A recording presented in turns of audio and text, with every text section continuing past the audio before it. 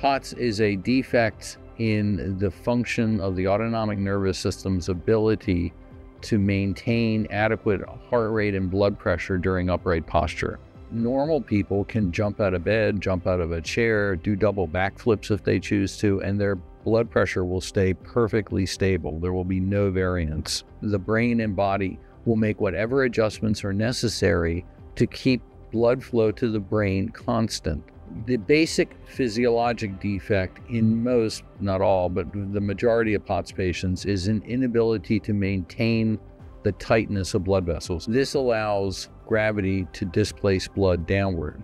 So if there's only a little bit of blood being displaced downward, then uh, you just don't feel tired.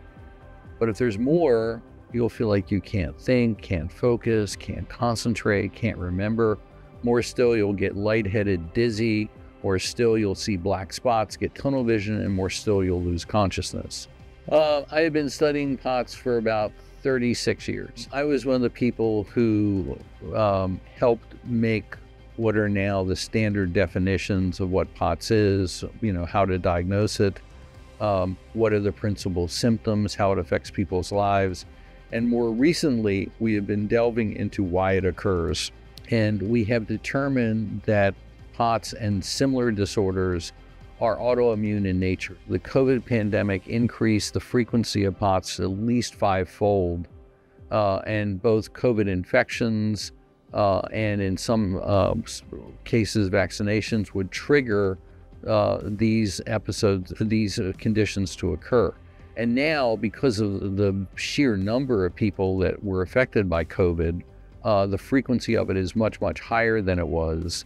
And therefore, there are more people being diagnosed, and there's a greater awareness of it. We've become pretty proficient at treating symptoms in the majority of people. Um, the, we have identified a number of different medicines that are extremely helpful in controlling heart rate and blood pressure and things like that.